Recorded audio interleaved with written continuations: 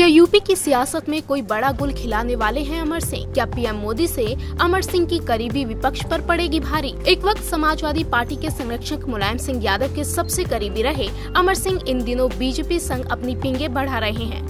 हाल ही में जब यूपी की योगी सरकार की ग्राउंड ब्रेकिंग सेरेमनी में राज्यसभा सांसद अमर सिंह पहुँचे, तो सबकी निगाहें उन पर ही टिक गई समारोह के दौरान पीएम मोदी ने भी जिस तरह मुस्कुराकर अमर सिंह का ज़िक्र किया उसके भी सियासी मायने निकाले जा रहे हैं। सियासी जानकारों की माने तो मोदी का इशारा साफ़ है की यह अमर कथा आगे विपक्ष की व्यथा बन सकती है। कांग्रेस से राजनीति का कखरा सीख सीखकर एसपी से राज्यसभा जाने तक के सफ़र के बीच सत्ता के गलियारों में अमर सिंह की पहचान एक ऐसे नेता के तौर पर रही है, जिनका बॉलीवुड और उद्योगपतियों से बेहद करीबी रिश्ता रहा है।